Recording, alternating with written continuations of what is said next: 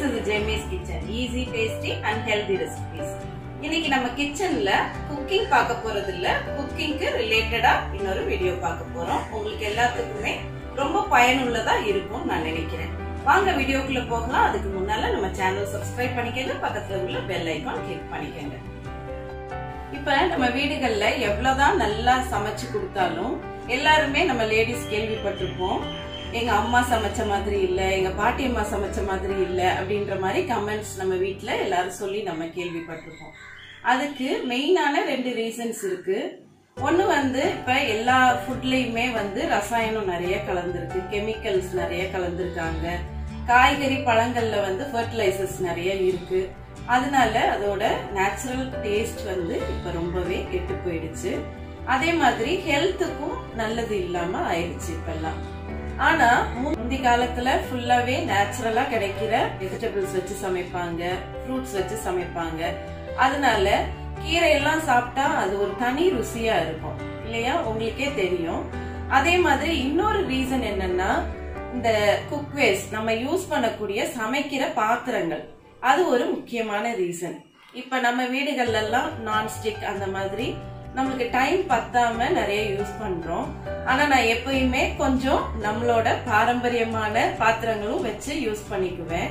அதுல கிடைக்கிற சுவையோ மனமோ வந்து நம்மளோட இப்போ உள்ள பாத்திரங்கள்ல கிடைக்காது. அது உங்கள நிறைய பேருக்கு தெரிஞ்சிருக்கும். அதை உங்களோட இன்னைக்கு ஷேர் பண்ணிக்கலாம்னு நான் ஆசைப்பட்டேன். அதனால இந்த வீடியோ நான் போஸ்ட் பண்றேன்.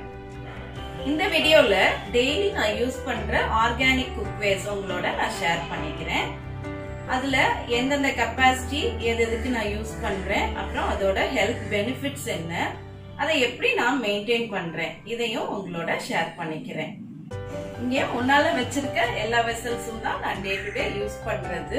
ஆர்கானிக் குக்வேர்ஸ் இதுல இரும்பு பாத்திரங்களும் இருக்கு மண் சட்டியும் இருக்கும். இரும்பு பாத்திரங்கள் வந்து ரொம்பவே அந்த ஹீட்டை வந்து ப்ரிசர்வ் பண்ணி வைக்கும். அதனால நம்மளுக்கு குக்கிங் ரொம்பவே டேஸ்டியா இருக்கும். ஈஸியாவும் நம்ம பண்ணிடலாம். கொஞ்சம் மெயின்டெனன்ஸ் வந்து அதிகம். இந்த மாதிரி கிளே பாட்ஸ் மண் சட்டின்னு சொல்லுவாங்க. அது மீன் குழம்பு கருவாட்டு குழம்புக்கு ரொம்பவே நல்ல மனமா இருக்கும். அதனால அதுலதான் நான் மீன் குழம்பு கருவாட்டு குழம்புலாம் வைப்பேன். இப்போ நீங்கள் பார்த்துட்டு இருக்க இந்த பாத்திரங்கள் தான் என்னோட ஆர்கானிக் குக்வேர் கலெக்ஷன்ஸ் இதை ஒன்றொன்னா இப்போ நான் உங்களுக்கு எக்ஸ்பிளைன் பண்ணுறேன் ஃபர்ஸ்ட் நான் என்னோட இரும்பு தோசைக்கல் கலெக்ஷன்ல இருந்து ஆரம்பிக்கிறேன். இது வந்து ரொம்பவே கியூட்டா இருக்குங்க. எட்டு இன்ச்சு தான் இதோட அகலம் மொத்தமே. அதனால ஆம்லெட்டு முட்டை பொரிப்போம் இல்லையா? கல் முட்டை. அதுக்கெல்லாம் வந்து ரொம்பவே டேஸ்டா இருக்குங்க இதுல செய்யும்போது. இது ஒரே பீஸ்ல வந்து இரும்புல கட் பண்ணியிருக்காங்க. அதனால ரொம்ப ஸ்ட்ராங்கா இருக்கும். இந்த ஹேண்டில் வந்து தனியா வந்துடும் அந்த மாதிரி பயமே நம்மளுக்கு தேவையில்லை. ஒன்லி திங் இதுல சூடு நிறைய பரவுறதுனால நம்ம ஹேண்டில் வந்து நம்ம எதுலையாவது கிரிப் பண்ணிக்கிறணும். மற்றபடி ரொம்பவே கம்ஃபர்டபுளா இருக்கும் இது. இப்ப இரும்புல ரெண்டாவது தோசைக்கல் இது நான் தோசைக்கு மட்டும்தான் யூஸ் பண்ணுவேன். வேற முட்டை பொரிக்க எதுவுமே சப்பாத்தி போட எதுவுமே யூஸ் பண்ண மாட்டேன். ஏன்னா இது தோசை நல்லா வரும் அப்படின்றதுக்காக அந்த தோசைக்காகவே ஸ்பெஷலா இவரை டெடிகேட் பண்ணியாச்சு. இந்த கிரிப் வந்து ரொம்ப கம்ஃபர்டபுளா இருக்குங்க. நம்மளுக்கு சுடுன்ற பயமே இல்லாம ஈஸியா தோசை வார்க்க முடியும். மோரோவர் இதுல தோசை சுடும்போது ரொம்பவே கிறிஸ்பியா டேஸ்ட் கண்டிப்பா டிஃபர் ஆகும். நம்ம வந்து நான்ஸ்டிக்ல பண்ணும்போது இந்த டேஸ்ட் கண்டிப்பா நம்ம எதிர்பார்க்கவே முடியாது. அந்த அளவுக்கு கிறிஸ்பியா ரொம்ப முறு முறுன்னு டேஸ்டா இருக்கும். எவ்வளவு பெரிய தோசைனாலும் நம்ம ஊத்திக்கலாம். ஏன்னா இது டுவெல் இன்ச் பேன் அதனால நம்மளுக்கு அகலமா நல்லா விரிச்சு தோசை ஊத்த வசதியா இருக்கும். இது வந்து வார்பிரும்புல செஞ்சிருக்காங்க. காஸ்ட் சொல்லுவாங்க இங்கிலீஷ்ல. இது வந்து இரும்புல ஒரு வகை தான் ஆனா வந்து நம்மளுக்கு சீசனிங்லாம் ரொம்ப ஈஸி நம்மளுக்கு நான்ஸ்டிக் எஃபெக்டே இதுல கிடைக்கும். அதனால இது வாங்கி நான் யூஸ் பண்றேன். இது ஒரு முழு இரும்பு தோசைக்கல். நான் ஃபர்ஸ்ட் காமிச்ச மாதிரி அதுலயே பெரிய சைஸ் இது. நான் முதல்ல உங்களுக்கு எட்டு இன்ச் காமிச்சேன் இல்லையா? அதுலயே ஒரே சிங்கிள் பீஸ் இரும்புல செஞ்சது. அதனால ரொம்பவே ஸ்ட்ராங்கா இருக்கும். இது கீழே போட்டாலும் உடையாது. நம்மளுக்கு எத்தனை வருஷம்னாலும் வச்சுக்கலாம். இதெல்லாம் வாங்கி பல வருஷம் ஆச்சு. அப்படியே இருக்கு. ஆனா நான் இதுல வந்து தோசை வறுக்கிறது இல்லை இப்ப சப்பாத்திக்குன்னே இதை தனியா ஒதுக்கிட்டேன். சப்பாத்தி அப்புறம் தவால ஃப்ரை பண்ணுவோம்ல வரட்டுவோம் பொரிப்போம் அந்த மாதிரி ஐட்டம்ஸ்க்கு பூரா இது நான் இப்ப யூஸ் பண்ணிட்டு இருக்கேன் முக்கியமா ஃபிஷ் ஃப்ரைக்கெலாம் இது ரொம்பவே நல்லா இருக்கு அட்டகாசமா இருக்கு. கிறிஸ்பியா வரும். ஃபிஷ் ஃப்ரை பண்ணா டேஸ்டும் சூப்பரா இருக்கும். நம்ம சாதாரண பாத்திரத்துல செய்யறதை விட இரும்பு தோசைக்கல்ல நம்ம ஷாலோ ஃப்ரை பண்ணும்போது ரொம்ப டேஸ்டா வரும். இதோட பிரெத் வந்து டுவெல் இன்ச்சஸ்க்கும் மேலே இருக்கும். செம்ம வெயிட்டாக இருக்குங்க. அதனால ஈவன் டிஸ்ட்ரிபியூஷன் ஆஃப் ஹீட் இருக்கும். அதனால வச்ச உடனே நம்ம வந்து சூடாயிரும் நினைக்க முடியாது. கொஞ்சம் டைம் எடுத்துக்கிறோம். ஆனால் ஈவனாக வந்து சூடாக இருக்கும். அதனால கிறிஸ்பியாக இருக்கும். நம்ம என்ன சமைச்சாலும் கிறிஸ்பியாக இருக்கும். நம்ம சேனலில் ரெகுலராக வாட்ச் பண்ணுறவங்களுக்கு தெரியும். நான் வந்து பன்னீர் ரெசிபி ஒன்று இதில் போட்டிருந்தேன். இதில் தான் நான் செஞ்சு காமிச்சிருப்பேன். சில்லி பன்னீர் ரெசிபி ட்ரை டைப்பில் செஞ்சுருந்தேன். அந்த மாதிரி வரட்டுறதுக்கெலாம் இது வந்து ரொம்பவே கம்ஃபர்டபுளாக இருக்கும். இது வந்து பத்து இன்ச் இந்த பேனு இதில் வந்து முக்கியமான ஸ்பெஷாலிட்டி என்னென்னா இதில் வந்து ஹேண்டில் வந்து உட்டில் கொடுத்துருப்பாங்க. அதனால நம்மளுக்கு சூடு சுத்தமாக தெரியாது. ரொம்பவே கம்ஃபர்டபுளாக இருக்கும். கிரிப் பண்ணிட்டு நம்ம நூடுல்ஸ் பாஸ்தாலாம் கிளறும் போது இதுலயே வச்சு நம்ம சாட்டே பண்ணலாம். ரொம்ப ஈஸியா இருக்கும். ஒரு சைடு நம்ம கிரிப் பண்ணிட்டு இன்னொரு பக்கம் நம்ம வேலை பார்க்கலாம். இது என்னோட எட்டு இன்ச் ஆப்பச்சட்டி. ஆப்பம் ஊத்துனா பேஸ் வந்து கிறிஸ்பியா அவ்வளோ சாஃப்டா வரும். ஒட்டவே ஒட்டாதுங்க. பாருங்க குழியா இருக்கிறதுனால நம்மளுக்கு ஆப்பம் சுடுறதுக்கு ரொம்பவே வசதியா இருக்கும். இது நான் மற்ற ஃப்ரையிங்க்கும் நான் இதுதான் யூஸ் பண்ணுவேன். டே டு டே இதை எடுக்காம இருந்ததே கிடையாது இது வரைக்கும் ரொம்ப வருஷம் ஆச்சு வாங்கி ஆனா அட்டகாசமா ஒர்க் ஆயிட்டு இருக்கு இது வரைக்கும் கிச்சன்ல என்னோட பெஸ்ட் ஃப்ரெண்டுன்னு கூட சொல்லலாம் இந்த பாத்திரத்தை. இது வெறும் இரும்பு பாத்திரம் தான். ஆனா அத்தனை வருஷம் நான் யூஸ் பண்றேன். அவ்வளோ நல்லா இருக்கு. இது வந்து நல்ல குழியா இருக்கும். அதனால டீப் ஃப்ரை பண்ற எல்லாமே இதுல பண்ணலாம். பூரி அப்புறம் சிக்கன் ஃப்ரை ஏதாவது வெஜிடபிள் ஃப்ரை ஸ்டர் ஃப்ரை எதுனாலும் இதுல பண்ணலாம். இந்த பாருங்க உங்களுக்கே தெரியும் எவ்வளவு குழியா இருக்குன்னு. இது எட்டு இன்ச் அகலம் தான். ஆனா வந்து ரொம்பவே கம்ஃபர்டபுளா இருக்கும். டே டு டே எல்லா குக்கிங்க்குமே நான் ஆல்மோஸ்ட் இதை எடுப்பேன். இல்லை யூஸ் பண்ணியுமே ஒண்ணுமே ஆகல. அப்படியே இருக்கு. வாங்கினப்போ எப்படி இருக்கோ அதே மாதிரி தான் இருக்கு. இதுவும் ஒரு காஸ்ட் அயன் கடாய் என்னட்ட உள்ளது. எட்டு இன்ச் கடாய். இது ரொம்பவே ஸ்ட்ராங் பில்டுங்க பயங்கர வெயிட் இருக்கும். பார்க்க தான் குட்டியாக தெரிவாங்க. ஆனால் பயங்கர வெயிட்டாக இருப்பாங்க. இதோட வித் வந்து எயிட் இன்ச்சஸ் அதனால நம்ம டே டு டே பூரி போடுறது இல்லை ஃப்ரை பண்ணுறது டீப் ஃப்ரை பண்ணுறது எல்லாமே இதில் வந்து பண்ணிக்கலாம்.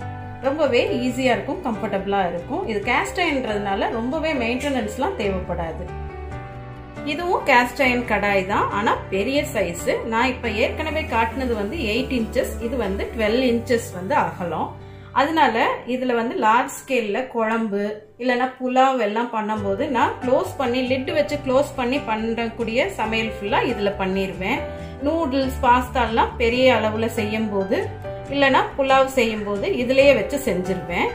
ரொம்பவே ஈஸியா இருக்கும். இதுவும் செம்ம வெயிட்டா இருக்கும். அதனால நம்மளுக்கு ஈவன் டிஸ்ட்ரிபியூஷன் ஆஃப் ஹீட் நான் ஏற்கனவே சொன்ன மாதிரி இருக்கும். அட்டகாசமான டேஸ்ட் இருக்குங்க. இதுல சமைக்கும் போது மட்டன் குழம்புலாம் அட்டகாசமா வரும். இந்த இரும்பு கடாய் ரொம்பவே பெருசு. பெருசு மட்டும் இல்லைங்க. இதோட ஏஜ் வந்து நான் சொன்னேன்னா நீங்க ஷாக் ஆயிடுவீங்க. ஐம்பது வருஷம் வயசானது இது.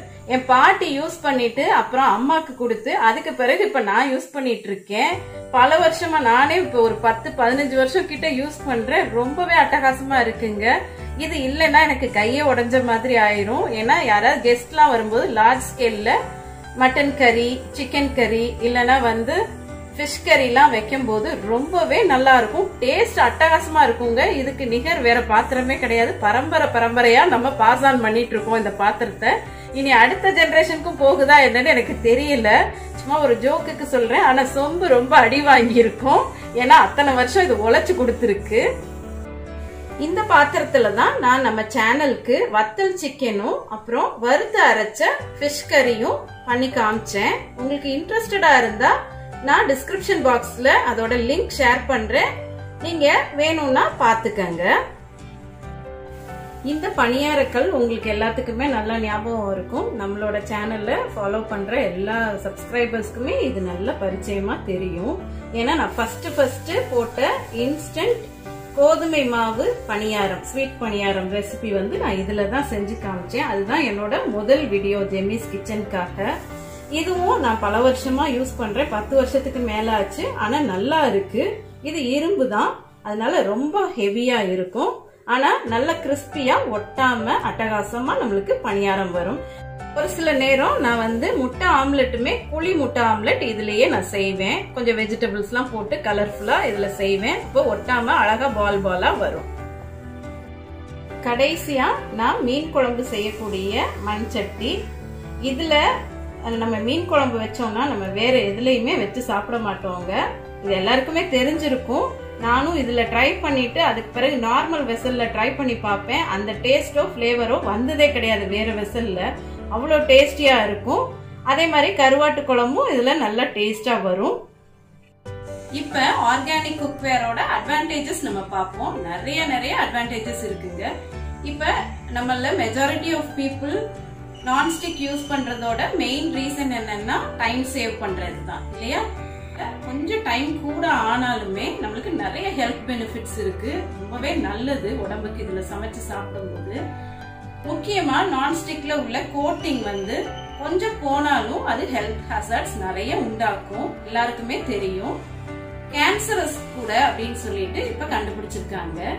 அதனால இதுல எந்த கோட்டிங்குமே நம்மளுக்கு கிடையாது. நேச்சுரல் மெத்தட்ல செய்யறதுனால எந்த கோட்டிங்கும் இருக்காது. கெமிக்கல் கோட்டிங் இல்லாம நம்மளுக்கு கிடைக்குது. அதனால ஃபுட் அப்படியே அதோட நேச்சுரல் ஃபார்ம்லயே இருக்கும். நம்மளுக்கு எந்த ரியாக்ஷனும் இருக்காது. ரொம்பவே டேஸ்டும் ஹெல்த்தும் நல்லா ரீட்டைன் ஆகும். தொடர்ச்சியா இந்த மாதிரி அயன் வெசல்ஸ்ல சமைக்கும் போது ஈவன் அயன் டிஃபிஷியன்சி கூட கியூர் ஆயிரும்னு ரிசர்ச் சொல்லுது. அது உண்மைதாங்க. எனக்கு கூட இருந்தது அயன் டிஃபிஷியன்சி அனிமிக் தான் நானு. அதுக்கு பிறகு தொடர்ச்சியா இதுலயே சமைச்சு சாப்பிட ஆரம்பிச்ச உடனே எனக்கு தன்னாலேயே ரெகுலரைஸ் ஆயிருச்சு ஹெச்பி இதுல வந்து கோட்டிங்லாம் எதுவுமே இல்லாததுனால நம்மளுக்கு பர்டிகுலரா இந்த ஸ்பூன் தான் யூஸ் பண்ணணும் சிலிக்கன் தான் யூஸ் பண்ணணும் இல்லைன்னா உடன் ஸ்பூன் தான் யூஸ் பண்ணணும்ன்ற எந்த நெசசிட்டியும் கிடையாது. எந்த ஸ்பூன்னாலும் நம்ம மெட்டல் ஸ்பூன்ஸ் கூட இதுல யூஸ் பண்ணிக்கலாம். நான் ஏற்கனவே சொன்ன மாதிரி யூனிஃபார்ம் டிஸ்ட்ரிபியூஷன் ஆஃப் ஹீட் இருக்கும். இதுல வந்து கொஞ்சம் ஹீட் அப் ஆகுறதுக்கு டைம் ஆகுமே தவிர கொஞ்சம் யூனிஃபார்மா ஹீட் ஆயிரும். அதனால முக்கியமான ஒரு அட்வான்டேஜ் இதுல யூஸ் பண்ணும்போது நம்மளுக்கு ஆயில் கன்சப்ஷன் ரொம்ப கம்மி. அதனால கொலஸ்ட்ரால் பேஷண்ட்ஸ்லாம் தைரியமா அயன் வெசல்ஸ்ல சமைச்சு சாப்பிடலாம். அப்புறம் முக்கியமான ஒரு அட்வான்டேஜ் இது ரொம்பவே எக்கனாமிக்கல்ங்க மத்த வெசல்ஸ் அளவுக்கு காஸ்ட்லி கிடையவே கிடையாது. இந்த தவால்லாம் நான் ரொம்ப வருஷமா யூஸ் பண்ணிட்டு இருக்கேன். இந்த தோசை தவால்லாம் இதெல்லாம் வந்து இருநூறு ரூபாய்க்கும் என்னமோ தான் நான் வாங்கினேன். நான் எப்பயுமே லோக்கல் மார்க்கெட்ஸ்ல தான் வாங்குறது ஆன்லைன்ல வாங்குறது கிடையாது. ஏன்னா அப்பதான் நம்ம வந்து செக் பண்ணி ஹேண்டில்ஸ் எல்லாம் நல்லா இருக்கா அப்படின்னு பார்த்து வாங்க முடியும். அதனால ரொம்பவே எக்கனாமிக்கல் மோரோவர் தலைமுறை தலைமுறைக்கா வரும் அயன் வெசல்ஸ் அதனால நம்மளுக்கு இதோட காஸ்ட் வந்து ரொம்பவே கம்மியா இருக்கும்.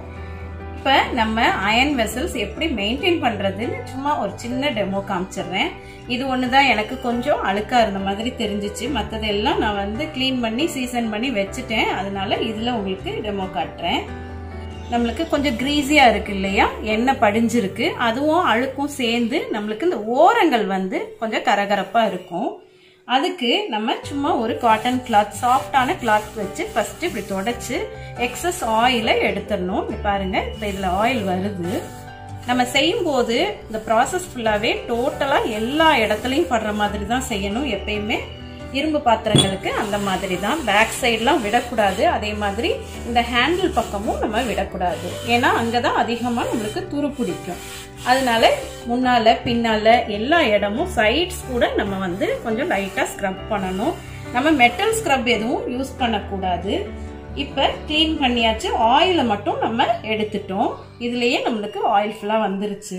பவுடர் சால்ட் இருக்குல்ல அதை வந்து ஸ்ப்ரெட் பண்ணிக்கணும்.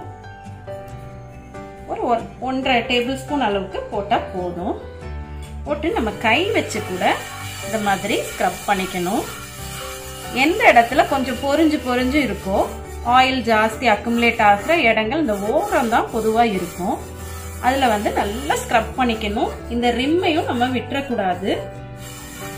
இது ஒரு தொடர்ச்சியாக ஒரு ஃபைவ் மினிட்ஸ் பண்ணோம்னா நம்மளுக்கு உள்ள டர்ட் ஃபுல்லாக வந்துடும் நம்மளுக்கு கையில் பண்ண கஷ்டமாக இருந்துச்சுன்னா நம்ம ரெகுலராக யூஸ் பண்ணுற தோசை கரண்டி வச்சு கூட இதை செய்யலாம்.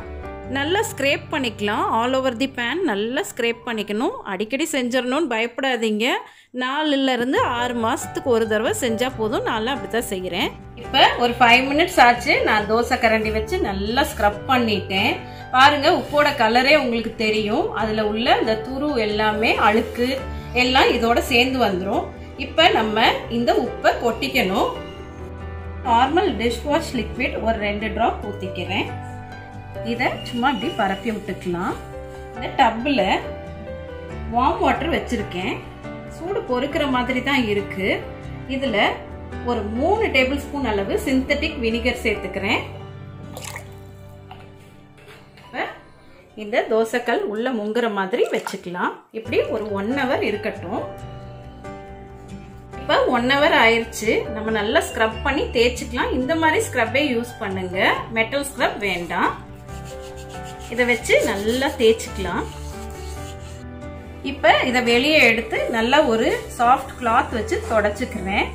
பாருங்க இதில் கருப்பாக எதுவுமே வரல. அப்படின்னா நல்லா க்ளீன் ஆயிடுச்சுன்னு அர்த்தம். இதை வெயில் உள்ள ஊரில் இருந்தீங்கன்னா நீங்கள் வெயிலில் வச்சு எடுக்கலாம். ஒரு ஒன் ஹவர் வச்சு எடுக்கலாம். அப்படி இல்லைன்னா கேஸ் ஸ்டவ்வில் கொஞ்சம் சிம்ல வச்சு ஒரு பத்து நிமிஷம் வச்சிங்கன்னா ஃபுல்லா சூடு வந்து நம்மளுக்கு பரவிடும் பாத்தீங்களா ஃப்ரெண்ட்ஸ் நம்மளோட தோசைக்கள் இப்ப சீசன் பண்ணியாச்சு.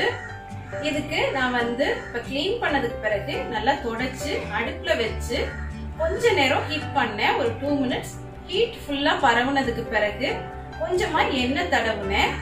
அதுக்கு பிறகு ஆனியன்ஸ் போட்டு அந்த எண்ணெயிலேயே ஃப்ரை பண்ணேன். அவ்வளவுதான் நம்மளுக்கு சீசனிங் எஃபெக்ட் கிடைச்சிருச்சு. இப்ப நான்ஸ்டிக் மாதிரி தயாராயிருச்சு. உங்களுக்கு இந்த மாதிரி வீடியோஸ் பிடிச்சிச்சுன்னா கமெண்ட் பாக்ஸ்ல கமெண்ட் பண்ணுங்க. நான் இதே மாதிரி வீடியோஸ் போஸ்ட் பண்றதுக்கு ட்ரை பண்றேன். நீங்க இது பிடிச்சிச்சுன்னா உங்க ஃப்ரெண்ட்ஸ் ஃபேமிலி ரிலேட்டிவ்ஸ் கூட ஷேர் பண்ணிக்கங்க. ஒரு தம்ஸ் அப் கொடுத்துருங்க. மறந்துடாதீங்க. Jemi's kitchen easy tasty and healthy recipes thank you